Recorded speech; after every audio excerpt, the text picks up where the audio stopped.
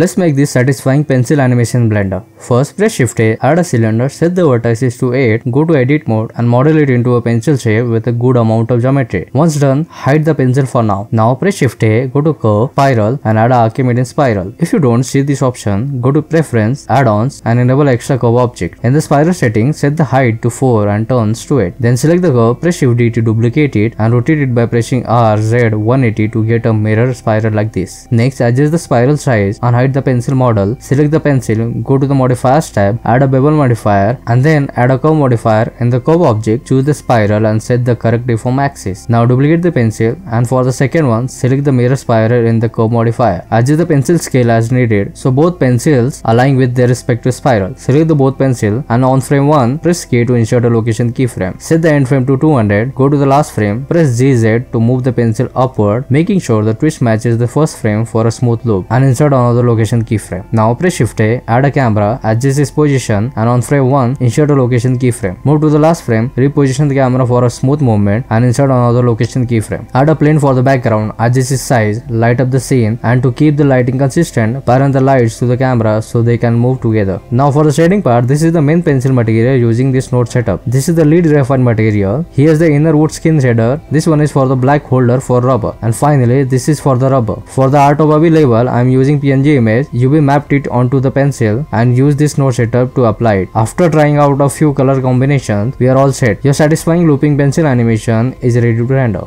Follow Art of Abhi for more.